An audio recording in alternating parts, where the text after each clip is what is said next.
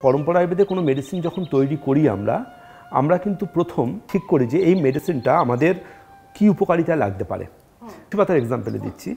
একটা তুলসী পাতা ফুলের দোকান থেকে আপনি সর্দি কাশি হয়েছে আপনি ফুলের দোকান থেকে তুলসী পাতা এনে খেলেন। আমি দায়িত্ব নিয়ে বলছি আপনি কোনো উপকার পাবেন না। আচ্ছা। আপনার মনে হবে যে জিনিসটা বোগাস তুলসী পাতা খেলাম করে কোনো তো উপকার হলো না। অত সুন্দর সতেজ তুলসী পাতা এনে আমি খেলাম ফুলের দোকান থেকে। আবার একটা তুলসী পাতা কিন্তু আপনি কেন উপকার হলো না? একটা তুলসী পাতা আপনি ফুলের দোকান থেকে এনেছেন একটা তুলসী পাতা অযোধ্যা পাহাড়ে ন্যাচারালি হয়ে আছে। আর একটা তুলসী পাতা নর্দমার ধারে হয়ে আছে তুলসী গাছ।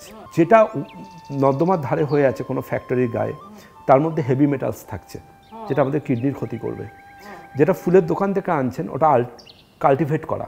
ওর মধ্যে উপকারী যে অ্যালকোলয়েড যেটা আমাদের সর্দি কাশিতে উপকারী উপকারিতা দেবে সেটা নেই প্রায়। আর যেটা অযোধ্যা পাহাড়- যেটা ন্যাচারালি অরিজিনেটেড হয়েছে ওয়াইল্ড জিন সেটা দারুণ ভালো কাজ হচ্ছে।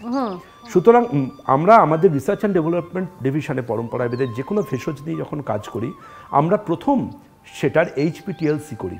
এইচপিটিএলসি হচ্ছে একটা অত্যাধুনিক ক্রোমোজোমাল স্টাডি যার এফেক্টে বোঝা যায় এই ভেষজটার মধ্যে এই উপকারিতার ভাগ এই অ্যালকোহলেটের ভাগ কতটা পার্সেন্টেজ রয়েছে। তারপর আমরা সিলেক্ট করে সেটাকে মেডিসিন প্রসিডিওরে পাস করি।